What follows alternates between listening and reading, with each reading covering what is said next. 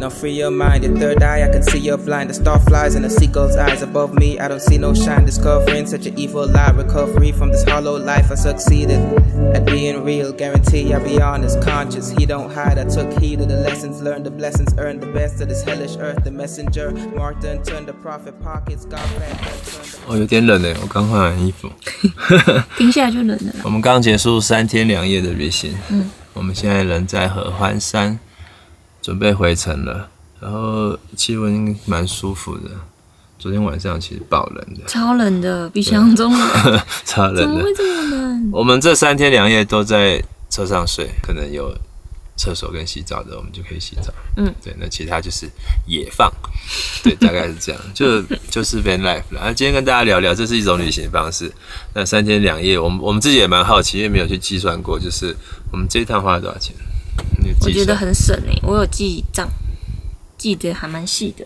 你说总共吗？，对啊。三天两夜。要先破梗吗？不要好了我们是前天出发，然后从宜兰一路往北横，开北横。我第一次开北横，第一天的计划是我们去南山村，它是对宜兰的最高点。然后我们本来想要在那边夜宿，感觉比较凉快。嗯嗯，那边是冬天会下雪的地方。对那我们上去的确有比较凉，但其实没有想象那么凉，对，毕竟还是夏天。然后那边都是高丽菜园，然后我们就找不到夜宿的地方，就发现台湾地，它都是就是那叫什么农田，对私人的土地，对没有什么地方可以停。对，所以我们就就随性一点，我们就继续往上开。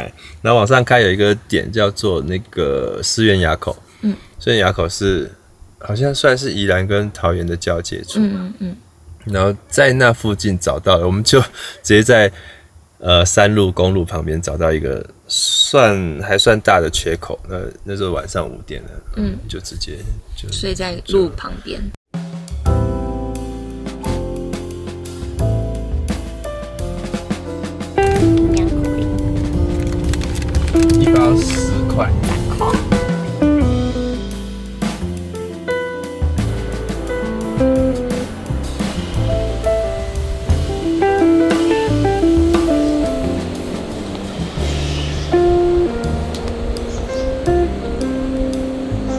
小心，大肚子走路要小心。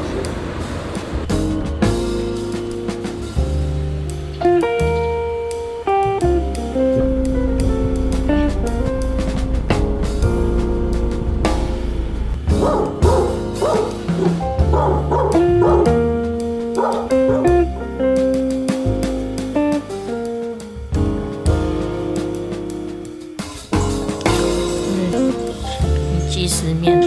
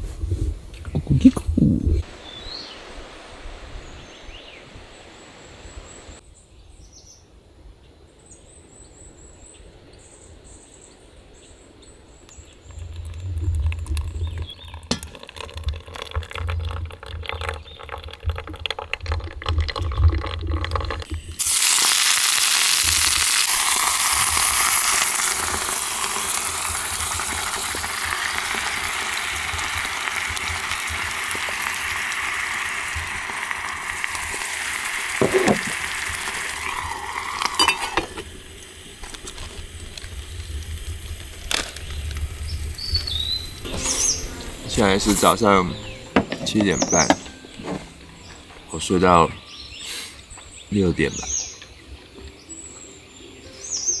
一晚半个小时，平的。起来很舒服，晚上都是虫的声音。醒来的快醒来，醒来的时候开始变鸟的声音，就整个心情就不一样了。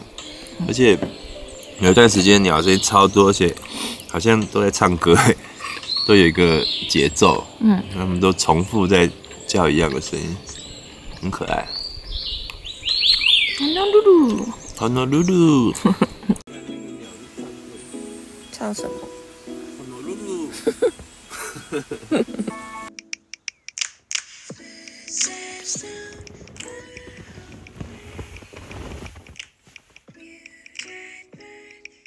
点的关系，所以大卡车一经过，就是、嗯，就是你本来快要睡着了，然后就会被吵醒。美中不足。对对，那那边很舒服，很棒，就唯独缺点就是但第二天早上起来感觉很棒。可乐那天没有洗澡嘛，嗯，去武林农场，然后因为那边有一个露营区，就是给他五十块，然后就可以洗热水澡，那我自己又再洗一次热水澡，嗯，我们就在那边吃了个饭，嗯，然后就直接往合欢山前进啦。往合山合欢山也是我第一次开中横，路不是很好开，它那个途中的路有些地方真的蛮漂亮的，然后有些路段好像有摊方对有对点可怕。对，但蛮有趣的。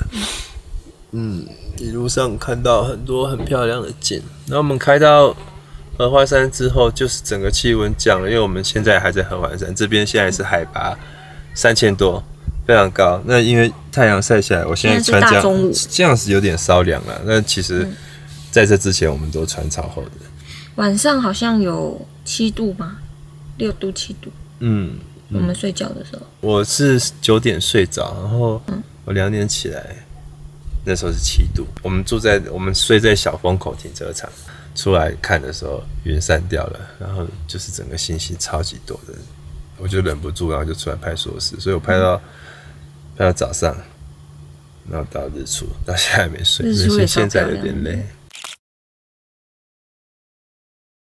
早安，嗯，日出。天亮了，好漂亮。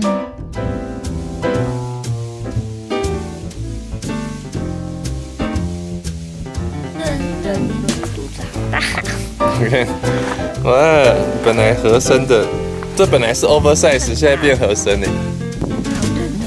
呃，大概三点，蛮冷的，然后飘了一点雨，几风就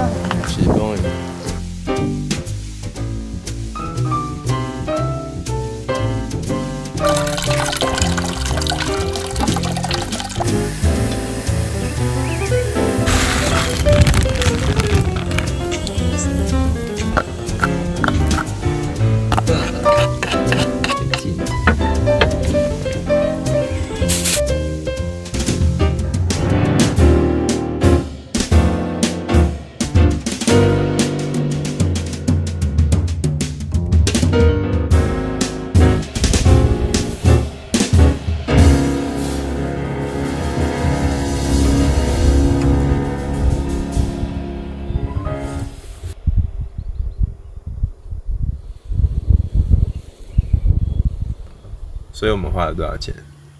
我们花了两千八百一十九元，包含加油，包含每一餐的两千八百九十一元。两两二八九一，我们花了二八九一，包含加油油钱，然后包含我们准备的伙食啊、泡面啊、然后还有菜路上钱啊，路嘴上买嘴馋买的零食，就大概这样。所以这样算很省哦，三天两夜只花这样子的钱，哦，包含有酒的钱钱，哦，酒钱也算进去的，酒钱也算进去。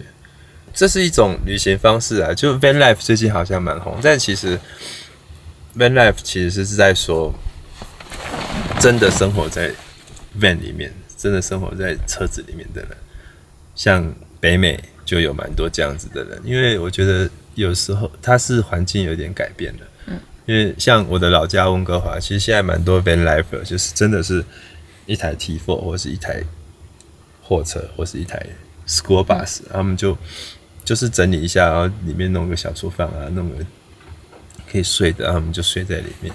但其实也多多少少是因为呃很多人的工作形态在改变，然后再来就是我觉得这个世代的人生活其实开始变得比较困难。那温哥华的物价变高了，然后北美整个都是啊，他不想被房子绑住。对他不想被房子绑住，他也觉得我不需要有一个 property，就是我不需要每个月去租，又花这么贵的钱去租一个房子，然后我要一直去缴这个钱，或者是他可能也甚至不觉得说我一定要买房子，对啊，因为他的价值观就不一样，价值观重的不在那。对，但我觉得他这个东西会是永远的，也可能就是他们生命中的这个时段想要做这样的事，也许后后面会有点改变。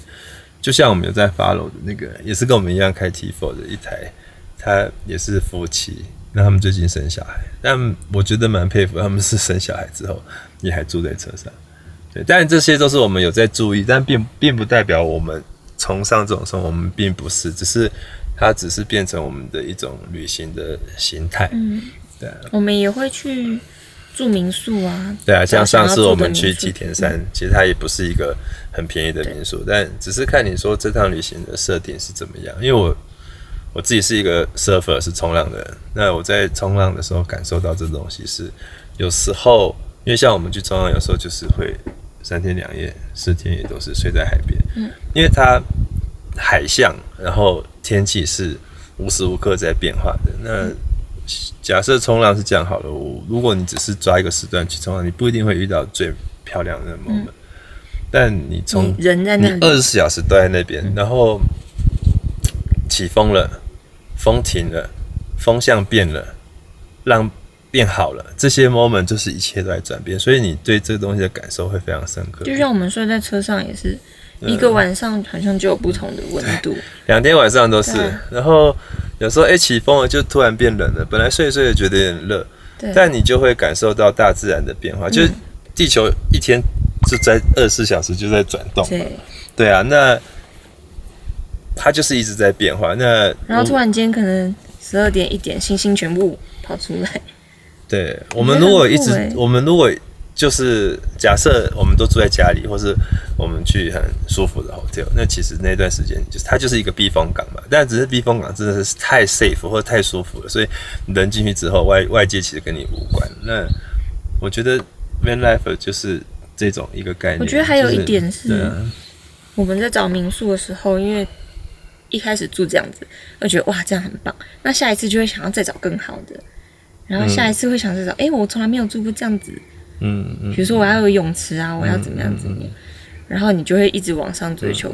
嗯，可是如果我们把自己处在一个没有那么舒适的环境对，，这很重要。啊对，当我们回到家里面，可能因为一场热水澡，或是因为家里有马桶，你然后就会非常的开心。你会特别觉得知足，就对这一些小事情。所谓的小确幸，我觉得小确幸，有些人说小确幸没什么，其实小确幸很重要，因为你懂得珍惜这些、嗯但是这些简单的。一直在一个很安全的环境里面，对啊，很方便的、嗯的环境里面，你就会忘记了，嗯，你拥有的有多少。其实你已经拥有了这么多。嗯大概是这样咯。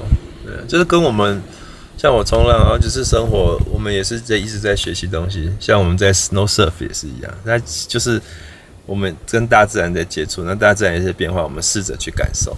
对啊，地形的变化，地形的立体度不完全只是一个不完全只是一个目标，而是整个过程我们感受到了什么。你看，现在现在现在就起风了，对啊，大概这瞬间差好多。嗯，上一秒还很热，下一秒就很我觉得台湾真的很美，我们这一趟这样子慢慢的，然后完全不赶。我们到了一个点，想要泡咖啡就泡咖啡，我们想要停，想要走我们就走，然后因为你就住在车上，嗯就是时间多。嗯，时间多找事情做，然后就突然要下雨就下雨，起风出太阳，蛮好的。那最后一天很棒，最后一天今天真的是天气很好，然后我们爬了山，嗯。我们登了百越，百越，很简单的百越，合合欢山的主峰。对，我们今天去了合欢山主峰，然后这趟旅行就这样喽。